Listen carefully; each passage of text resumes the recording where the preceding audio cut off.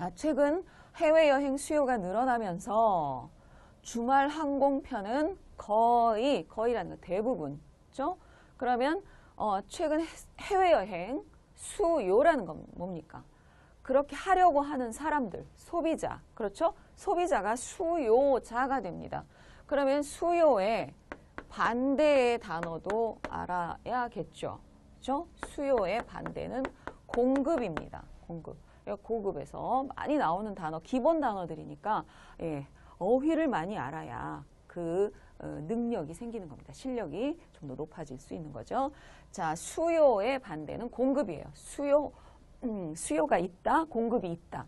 그래서 우리가 어, 필요한 사람 은 수요자가 되죠. 그 다음에 필요한 사람에게 필요한 것을 주는 사람, 그것이 공급자가 됩니다. 그러니까 어, 여행객이 많아진다는 말입니다.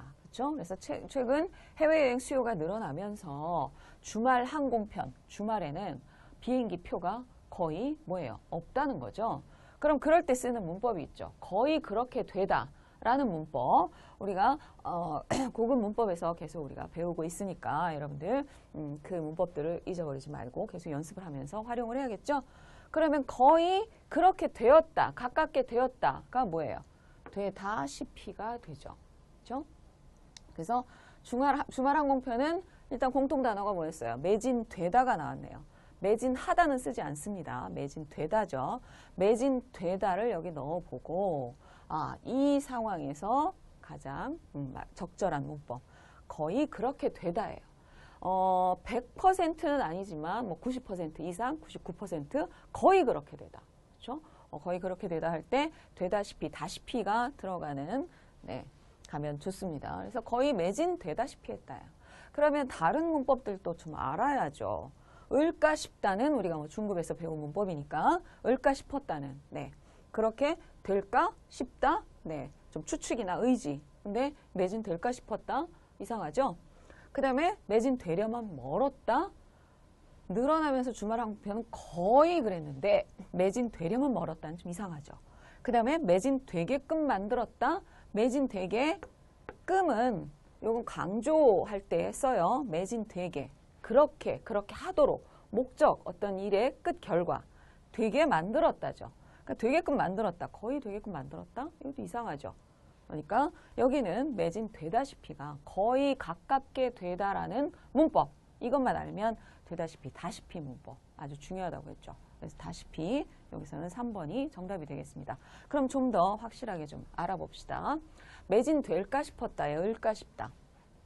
이건 중급 문법이니까 어떤 행동을 할 의도를 의미함. 뭐 추측함과 동시에 그다음에 의도 하려고 하는 거. 그래서 하려고 한다. 그때 을까 싶다. 이거 많이 쓰죠. 그래서 식사 후에 커피를 마실까 싶어요. 커피를 마시려고 해요. 그렇죠? 어, 뭐 확실하진 않지만 그렇게 하려고 생각, 의도가 있다라는 거죠. 그다음 의려면 멀었다. 네. 앞에 상황이 되려면 아직 멀었어요. 그렇죠? 그 뒤에 어떤 결과까지 가려면 아직 더 거리가 시간도 많이 있다 어, 필요하다라는 거죠. 한국 사람처럼 말하려면 아직 멀었어요. 이렇게 대답을 하겠죠. 여러분들 어, 이제 고급 정도의 수준이면 한국 사람들이 얘기할 때 많이 그런 말 할 거예요. 어 한국어 참 잘하시네요. 그럴 때 네 감사합니다 보다는 어때요? 중국에서 우리 배운 문법 있었죠. 아니에요. 잘하기는요. 그렇죠? 잘하기는요. 그것이 굉장히 예의를 갖추면서 겸손한 표현이라고 했죠. 잘하기는요. 한국 사람처럼 말하려면 아직 멀었어요. 아주 좋은 인사법도 되는 거죠. 그래서 의려면 멀었다는 이럴 때. 그 다음에 다시피 뭐였어요? 앞의 상황과 거의 그렇게 됐다라는 거예요. 100%는 아니라고 했어요. 그러니까 거의가 나옵니다. 거의. 게임을 하다가 밤을 새우다시피 했어요. 오. 그러니까 거의 못 잤다라는 거죠. 뭐 한뭐 5분, 10분, 1시간 이러면 잤을 수도 있겠지만 거의 못 잤어요. 이럴 때 밤을 세웠어요 하고 세우다시피 했어요는 좀 다르겠죠. 밤을 세웠어요는 완전히 100%. 그런데 예, 밤을 세우다시피 했어요. 거의 세웠어요. 이렇게 되는 겁니다. 그래서 게임을 하다가 여기에 뭐더 좋은 건 게임을 하느라고 그렇죠? 느라고 앞에 한 것도 나, 뒤에 한 것도 나. 주어가 같고 어떤 나쁜 결과의 이유나 원인, 핑계, 변명 이렇게 할 때. 그래서 어, 뭐 어젯밤에 잠 못 잤어요. 왜 이렇게 피곤해 보여요? 이렇게 할 때 게임, 게임을 하느라고 게임을 하느라고 밤을 새우다시피 했어요. 그래서 피곤해요. 이럴 때. 그래서 다시피가 어, 좋습니다.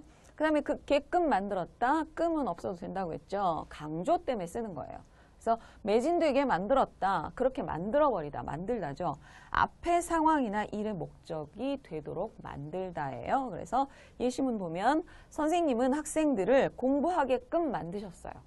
학생들이 공부를 잘 안 하려고 하는데 선생님이 그렇게 하도록 만들었다라는 거죠. 그래서 도로 글러도 됩니다. 매진되도록 만들었다. 매진되게와 도로 목적을 나타낼 때는 같죠. 그죠? 어떤 일이 목적이. 그래서 다시 한번 정답 확인을 해볼까요? 최근 해외여행 수요가 늘어나면서 수요, 공급은 아니죠. 필요로 하는 사람에게 해주는 것이 공급이라고 했어요.